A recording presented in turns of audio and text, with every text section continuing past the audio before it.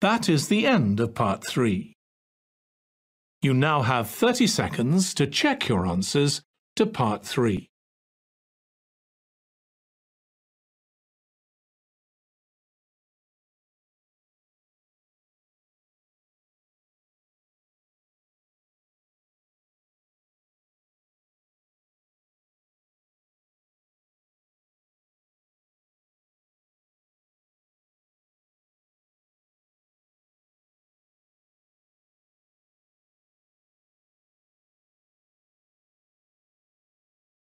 Part 4 You will hear a writer giving a talk about the different kinds of writing that the audience might want to try doing. First, you have some time to look at questions 31 to 40.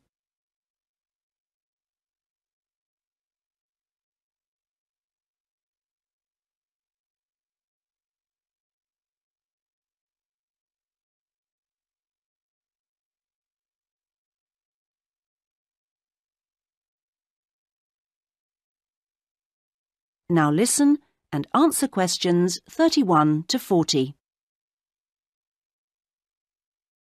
So, I'm now going to say a few words about the various different kinds of writing you may want to consider.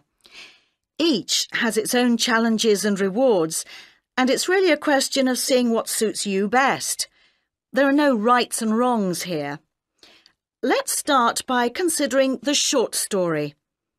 Remember that a short story isn't just a very concise novel.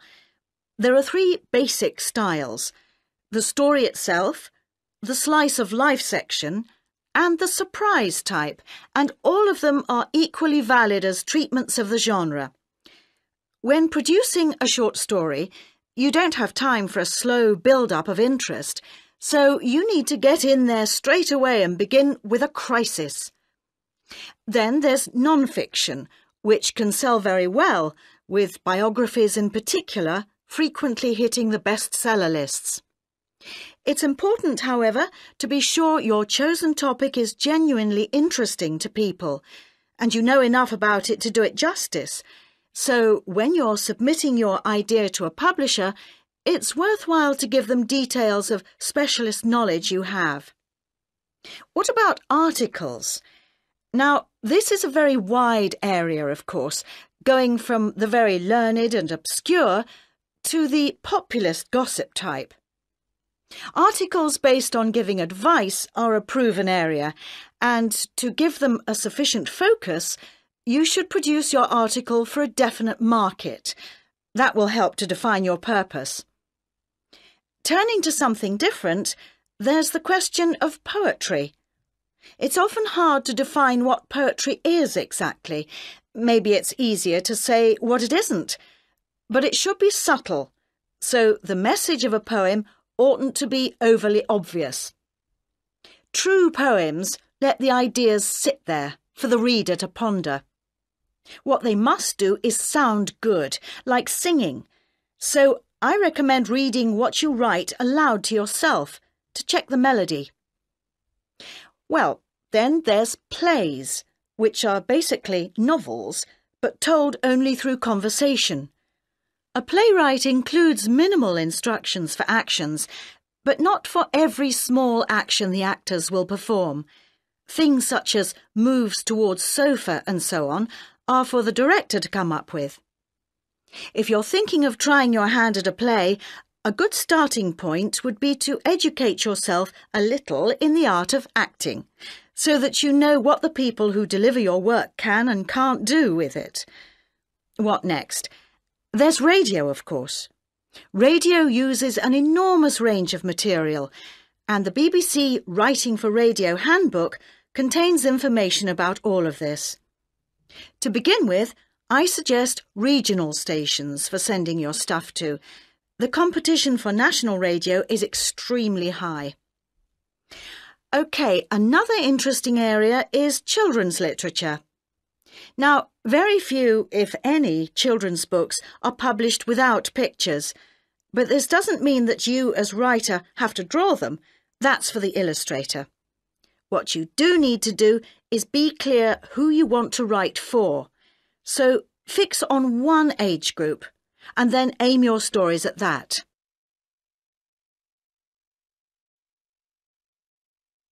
Right, I've saved what I consider to be the best and the hardest till last the novel. Very long and very difficult to do well, but certainly not impossible, as any bookshop shelves will confirm. One of the first things to decide is from what point of view you will tell your story. A popular choice is the first person, and this technique certainly gives a sense of immediacy for the reader, while many new writers find it easier to project themselves into their main character if they can write in his or her name. But that assumes, of course, that the main character is somehow like the writer, which may or may not be the case. Meanwhile, if your book is all narrated by I, you can only put into your story things which are experienced by that character, which may prove to be rather restricting. Now, there are all sorts of pitfalls for the novelist, and many of them relate to the issue of providing a balanced narrative. Every time you introduce a character into the story, you have decisions to make. Of course, you want to populate your landscape with a variety of people to maintain interest, but don't feel you have to decorate every one of them in elaborate detail. The same goes for irony. All too often, an inexperienced writer will create a strong ironic situation and then spoil it by spelling out what they mean by it, as if readers were too stupid to understand. A few contrasting details should serve to make the point clear. A big challenge for new novelists is dialogue. What is the relationship between conversation as people really speak and as it is in novels? Well, it depends. If you recorded actual conversations and copied them straight into your narrative, readers would get confused and bored, all those unfinished sentences going nowhere. On the other hand, you don't want to write out page-long utterances by characters, as these will seem unrealistic to an extreme, but you can insert minor descriptions and actions to vary the pace and add interest. Well, I hope what I'm saying is encouraging and not too off putting about the various difficulties. Are there any questions at this point?